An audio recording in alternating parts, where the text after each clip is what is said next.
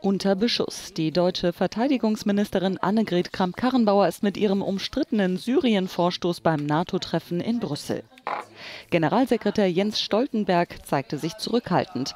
Er begrüße es, wenn Bündnispartner Vorschläge einreichten, sagte er vorab. AKKs Plan sieht die Einrichtung einer UN-Sicherheitszone im Grenzgebiet zur Türkei vor und damit die Beteiligung der Bundeswehr in einem Kriegsgebiet. Vorschnell, nicht abgesprochen, die Reaktionen auf ihren Alleingang fielen überwiegend negativ aus, ob im europäischen Ausland oder in Deutschland selbst. Vom Koalitionspartner SPD hagelte es Kritik. Außenminister Heiko Maas, der von ihr nur kurz und knapp per SMS informiert worden war, sprach von einer SOS-Politik. Deutsche Journalisten unterstellen AKK, sich mit dem medienwirksamen Alleingang die Chancen auf die Kanzlerschaft bewahren zu wollen.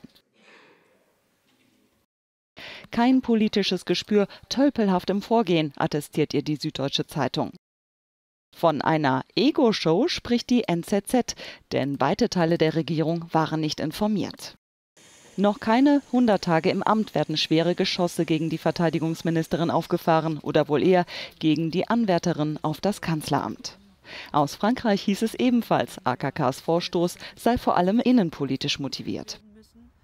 Überraschende Unterstützung kam von Friedrich Merz, ihrem früheren Gegner im Rennen um den CDU-Parteivorsitz.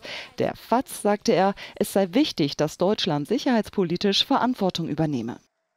Auch Bundeskanzlerin Angela Merkel lobte AKKs Pläne. Wann sie von ihr informiert wurde, ob vor oder nach dem Vorstoß, blieb unklar.